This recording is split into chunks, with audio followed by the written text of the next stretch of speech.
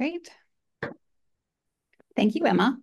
Hi, everybody, and welcome to our webinar presenting on actions to improve local air quality. This is part of our Ozone Garden Network webinar series. And my name is Julie Malmberg. I am the Assistant Director at the UCAR Center for Science Education in Boulder, Colorado, and looking forward to doing this with you today. So first off, I wanted to acknowledge that the Native peoples in whose ancestral homelands we gather and whose land our bioindicator gardens are grown in. We recognize the diverse and vibrant Native communities who make their home here today. And our plan for today is to do some quick introductions of our team, some air quality 101, talk about how to find local air quality measurements, talk about the importance of solutions focus when talking about air pollution or air quality, um, talking about spheres of influence, then talking about solution examples, and then having discussion.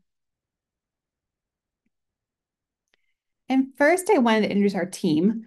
We have a very active team of um, people from all over the country, and that includes from CSU, UCAR here in Boulder, um, also Denver, and then on the East Coast as well. So um, we come from different agencies and organizations to support this network, and we're really glad that um, we can do this work. And our work a lot of this work is funded by an award from the NASA Team 2 um, award function. So we also appreciate that funding in order to do these um, webinars and support for our gardens. So first, air quality 101. What is air quality? It is the level of pollutants in the air at a time and location. And the EPA in the United States is really interested in looking at ground level ozone, particle pollution, carbon monoxide, sulfur dioxide, nitrogen dioxide. These are not an exhaustive list of, air, of pollutants, but they are the ones that are most tracked in the US. And the picture here on the, on the right shows a picture of Denver. And the top image shows a much clearer image than the bottom one. So you can see the impacts of air pollution. This is called a brown cloud in this area. And cleaning up the air actually leads to huge visibility differences and you know how people feel in this area. I want to talk about sources of air pollution. We have human-made, which can include things like vehicle exhaust, um, coal burning power plants, industrial sources, agriculture, um, planes. And then we also have natural sources that include volcanoes, fires, and dust storms. I'm currently in Colorado where we have quite a few fires burning that are really affecting our air quality. And so these kind of things we actually can visually see when we actually have pollution sometimes. Not always, but we can sometimes. And um, I also wanted to mention that our human-made sources have a much bigger impact on air pollution than natural sources. So even though we do have things like a visible fire and ash and you know the, from that, the invisible sources from humans are actually much more impactful in this area. And our ozone one is an interesting one. So we have ground level ozone that actually is not emitted from any sources, but it actually comes from a reaction between nitric oxides and volatile organic compounds and sunshine. So when we have these um, nitric oxides or volatile organic compounds released from cars um, or from exhaust, they then will react in the sun and produce surface ozone. So this is one is an interesting one because it's not a direct um, source of pollution. And what impacts air quality? There are different things. Some are more obvious, like pollution sources. So in order to have, um, you know, really good air quality, we need to have fewer sources of pollution. Also geographic features. So topography, like being in a valley of a mountain or um, being across from um, a lake from a high pollution area. Also weather, including winds and temperature. So when we have um, strong winds bringing pollution into an area, that can definitely impact the air, air quality. And also time of day. So I have a, a graph here on the right, and on the um, x-axis, we're looking at time. So it goes from 6 a.m. to 6 p.m. And then on the y-axis, we're looking at ozone concentration, so O3 concentration. And the thing I wanted to point out here is that you can definitely see an increase in ozone concentration in the afternoon, which makes sense because in order to have surface ozone, you need to have the sources and also that sun to have the reaction. And then another part is interesting about this one is this study was conducted in um, Toronto, and they were looking at how lake breezes or breezes that come across from the lake impact ozone concentrations. And they learned that having um, this lake breeze bring in air from a more industrial area led to a, a pretty big increase in the ozone concentration. So again, this is showing that impact of wind, temperature, and time of day. Then I wanted to talk about how to find your local air quality measurements. And for this, um, we are going to look at airnow.gov. This is a website that is um, created by the EPA and also working with partner organizations in order to ma maintain this. And the image on the bottom, that map, shows all of this, like the locations that provide air quality data to, the, to this website. And I took a screenshot of the um, air quality earlier today, um, actually about noon mountain time. And you can see we're currently at an air quality index that's that nowcast AQI of 131 or unhealthy. And we're actually headed towards the red area today um, because of our, again, surface ozone and also the um, fires. So if we have time now, I'd like to encourage all of you to go to this website. Emma put it the chat or in the chat the link to the website, and go ahead and tell me what your air quality index is right now. And I'll show you where to get to that website. So if you put that airnow.gov in and you can put your zip code in. And so, see if it's updated or not. It's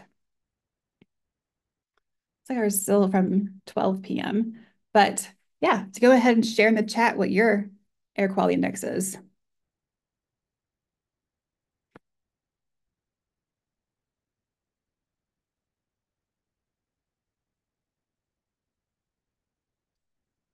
Thanks, Emma. Yeah, it's 131 in Denver also, and ozone's 93, which is, we can see the ozone here if I scroll down a little bit. Um, also 93 in Boulder.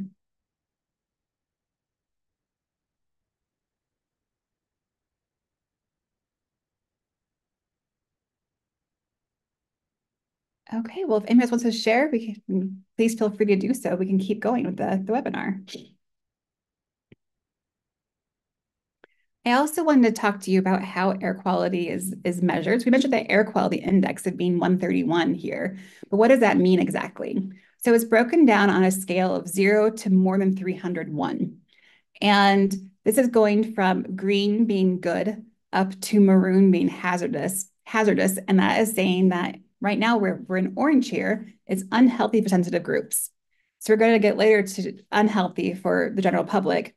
Um, and hopefully won't go past that.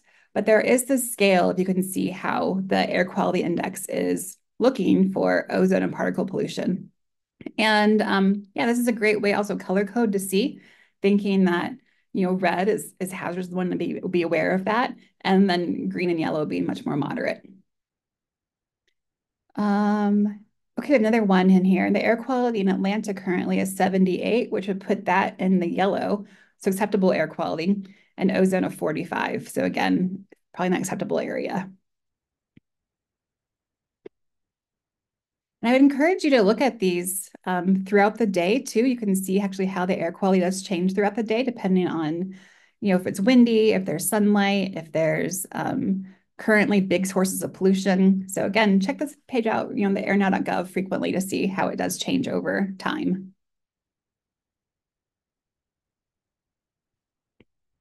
And I also wanted to mention local air quality measurements. As I mentioned earlier, um, we are working with the NASA TEMPO mission. So NASA TEMPO has been launched and will soon start sharing data with us. And that actually will be hourly measurements during the day. So we'll see much more frequent from space, you know, looking at our, our air quality. And we also have two other ones that are um, currently sharing air quality measurements, including Sentinel, which is the European Space Agency, and GEMS, which is from South Korea. But having those ground-based sources like the, the EPA has around the, the um, country, uh, as well as from space, really provides a broader network of what we can learn about our air quality.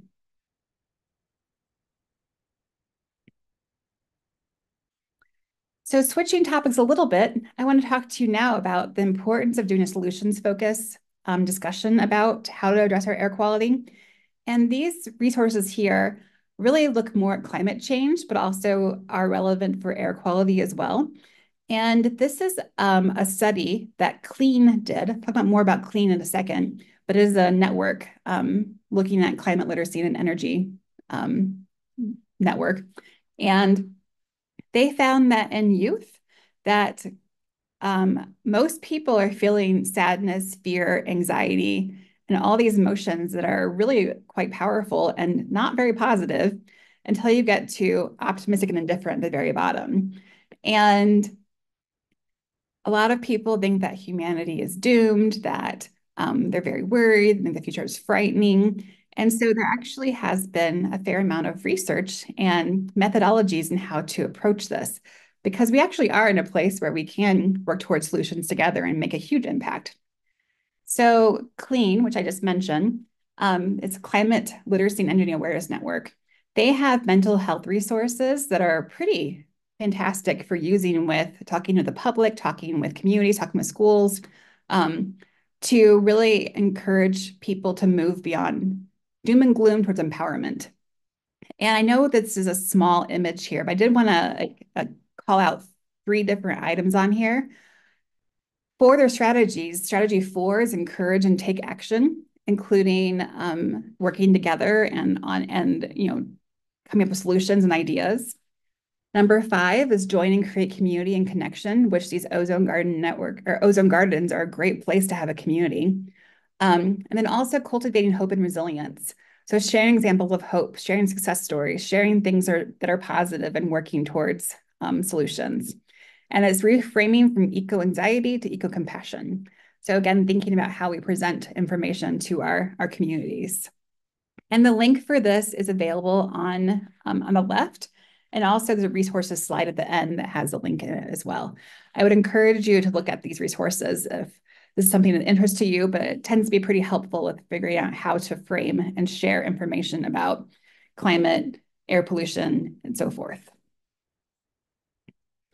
So one of the first parts in thinking about solutions is thinking about spheres of influence. So when thinking about spheres of influence, I have it really, this is adapted from a field guide to climate anxiety, which is a great book to look at for when thinking about talking about um, solutions for um, climate or, or air pollution. And um, thinking about areas that the individual can control or the community can control. So again, one person can really have influence over um, you know, their, themselves and also their community. And some people and some organizations do have more influence on these different areas or different spheres. So we're going to go through these by sphere. Um, and we're actually going to go from national and global for ideas for solutions in a couple of minutes here. But I wanted to mention this um, checklist for finding your solution and doing it well, which is also adapted from the book that I just mentioned. Um, so really thinking about your spheres of influence. So are most people going to be able to create international policy to address um, air pollution? Probably not. So when thinking about these kinds of ways that we can make an impact, thinking about what people can actually do and make an impact. Also, ecosystems have diversity, and so do solutions.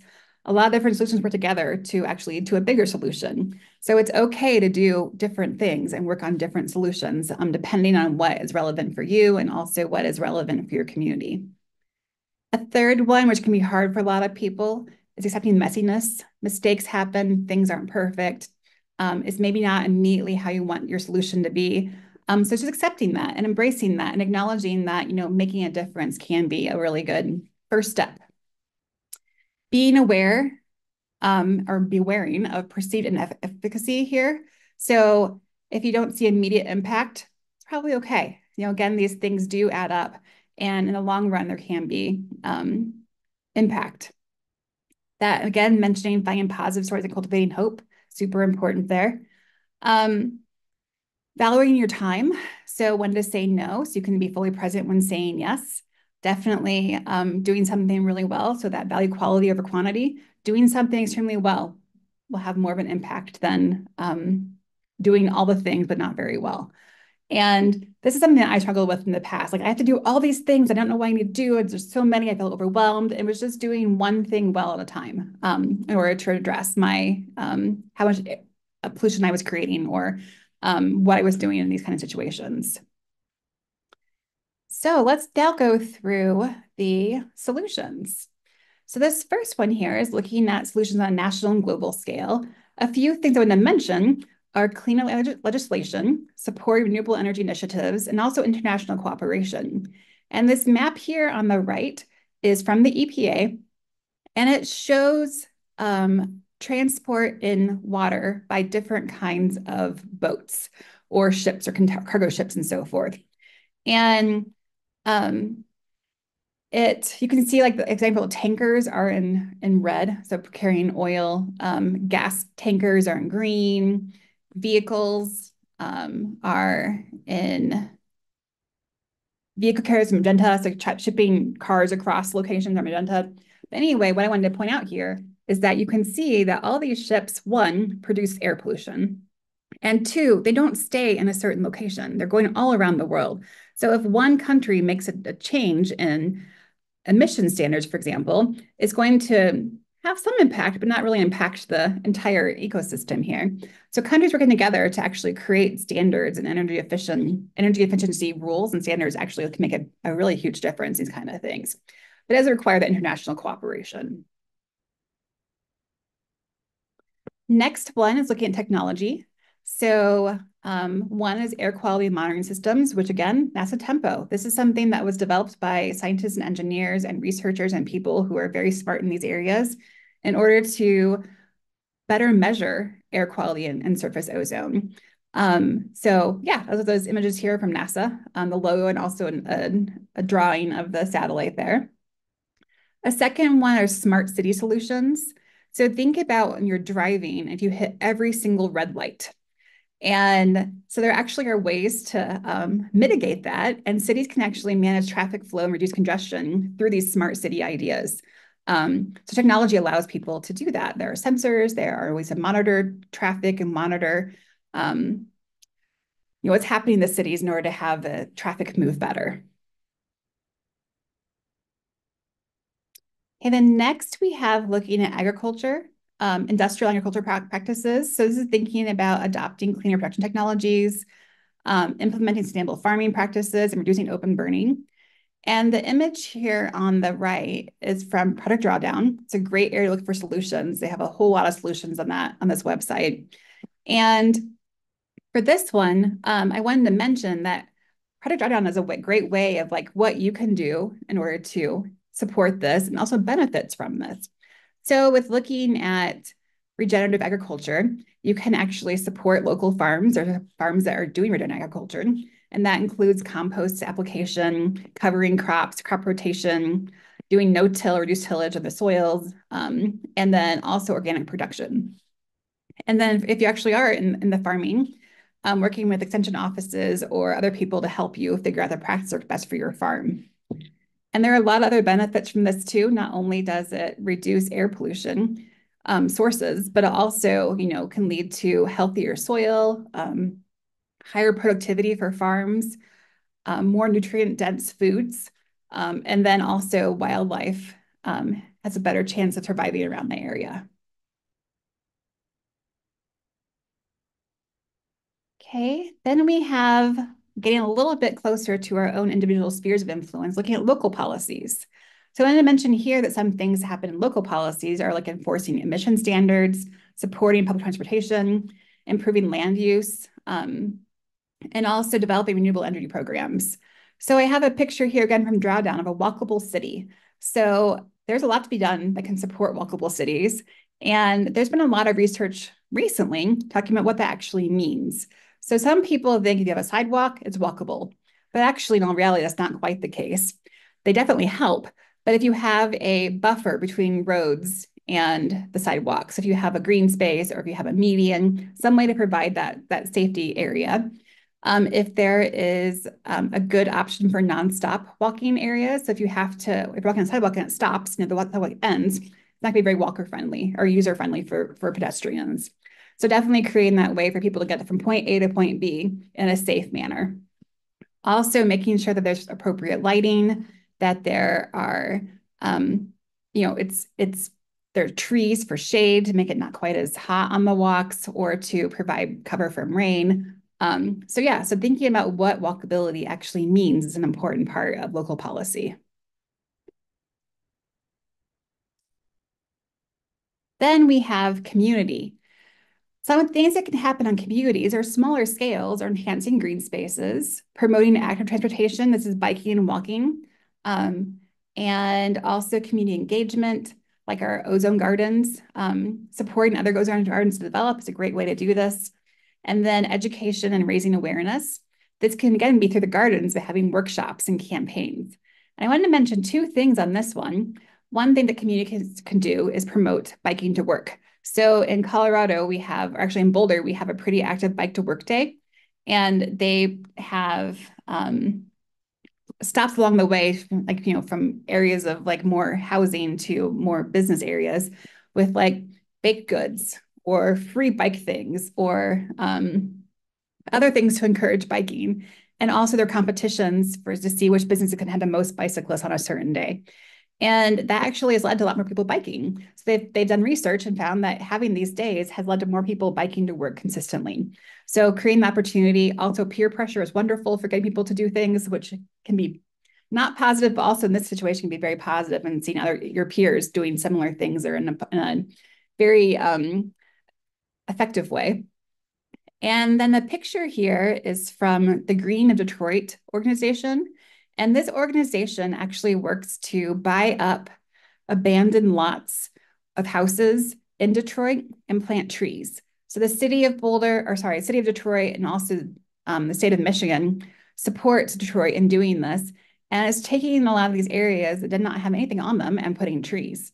And I talked to people doing this a few years ago, and they mentioned that, you know, some of the trees can actually lead to income sources for people. So they're looking at what's um, healthy for creating crops that have fruit or um, syrup or other ways to turn these into sources of income, along with, you know, improving the local air quality.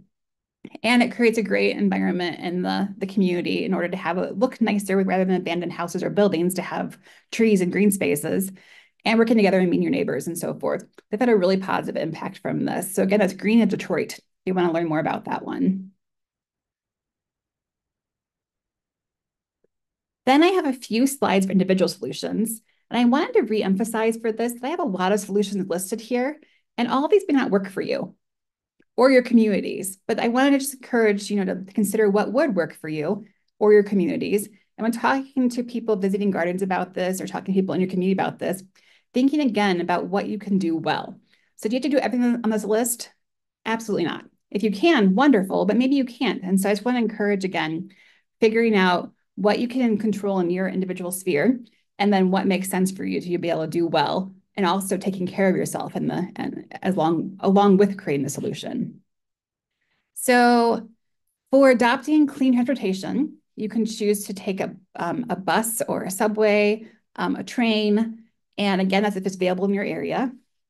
Carpooling, um, is a great way. I believe right now most cars have on average like 1.4, 1.5 people per car. And so there's a, a goal to have that increase to over two people per car. Um, and that actually make a pretty big impact on our, our local air quality.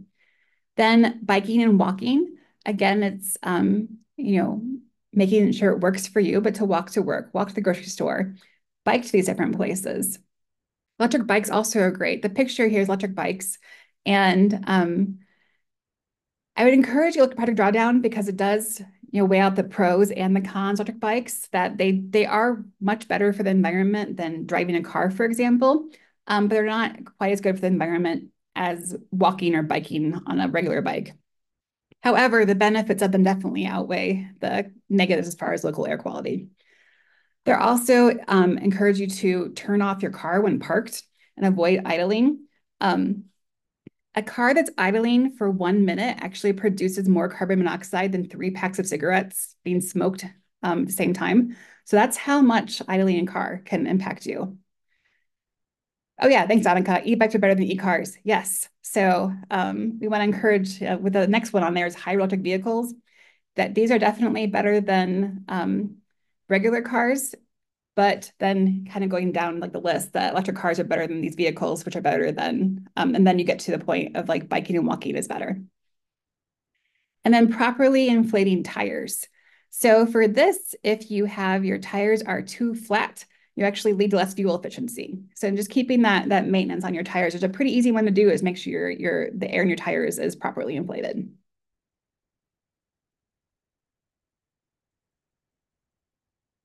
And more individual solutions, thinking about your home now.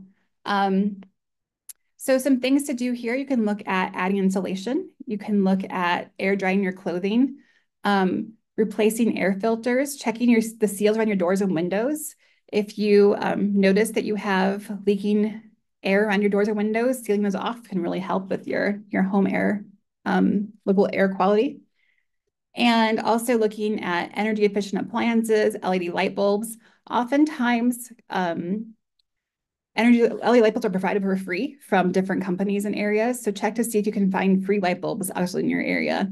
And also your thermostat setting. So for example, if you set your um, temperatures higher in the summer and lower in the winter, that can help your, your energy consumption and therefore your, your pollutant sources. Um, and the picture here is looking at insulation. And for this one, an added impact besides just making, um, you know, being better for not creating as much pollution, you actually can pay less money if your energy bill is less. So it has another benefit of thinking about your, your home's insulation. Then other individual activities are thinking about your outdoor spaces. So planting trees, limiting fires, and also using electric or hand-powered lawn equipment. I listened to a podcast recently. It's on 99% Invisible, which is a great podcast. And they're talking about um, leaf blowers in Los Angeles. And it was an interesting story because initially in like the 70s, leaf blowers became very popular.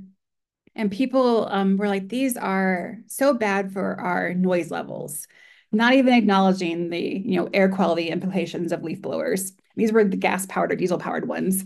And it turned into a huge thing where people like, you know, we can't we can't have these loud leaf blowers happening to disturb my sleep, disturb my kids' sleep. It's just not a great thing.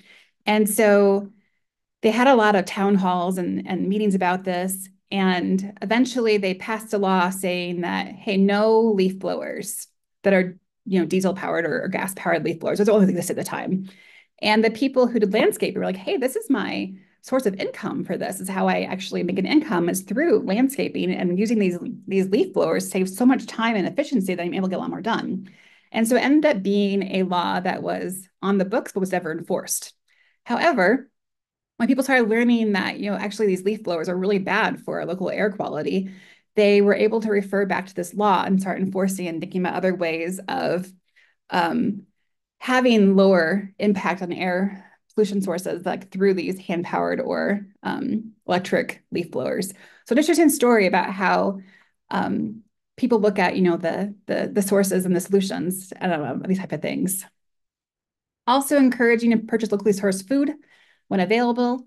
Um, this has an impact of less transportation and less, therefore, you know, air pollution emitted through traveling across the country or from other countries. Um, initially looking at ballot initiatives and sharing information. So seeing what makes sense for your community. What do you think that would be a positive impact on your community for um, it's on the ballot? And then additionally, supporting political candidate positions on environmental policy and regulations. So seeing which candidates in your area support environmental policy, who supports regulations. So really doing some research on political candidates. I know that many organizations can't promote candidates. So I'm not saying to say a certain candidate, but more just just candidates are supporting and talk about that component. And the picture here is from the Boulder Farmers Market, um, which is a really fun event in, in Boulder. We have every Saturday and every Wednesday night where people can come buy food from local farms. And it's quite a celebration also to um, see performers and art and your neighbors and community members. Okay, so now I wanted to talk to all of you about what actions do you do to promote? Um, and this can be individually or working with your gardens. And what do you see your community members doing to promote um, improving air quality? And Emma, I will turn this over to you now. You talk about the unmuting or um, coming on camera, that part. Yes. Um, I am going to allow attendees to talk so we can have a discussion um, and other panelists on the call, you're welcome to join in. Um, I would you uh, would you like me to keep the recording going, Julie, or do you want me to? You know what? I'm going to share the reference slide and then let's Great. go back to this one and stop recording. Sounds so good. Here is the resources slide. If you want to see anything they talked about today, I wanted to include this information. So we have what is air quality? It's a um, Learning article on our website. It is geared towards a middle school audience approximately, so it has language that's pretty to understand. We also have a link to our ozone garden overview. Um, and then I include the Air Now, the EPA link for local air quality. Then those clean mental health resources. And then finally, Project Drawdown, which again lists a lot of solution ideas um, not all with air quality, but for you know thinking about um, climate change as well. So air quality and also climate change in general. So please check these out. If you have questions also about this, please let me know. Um, and yeah, so let's get back to this one and you can stop recording. Great, thanks.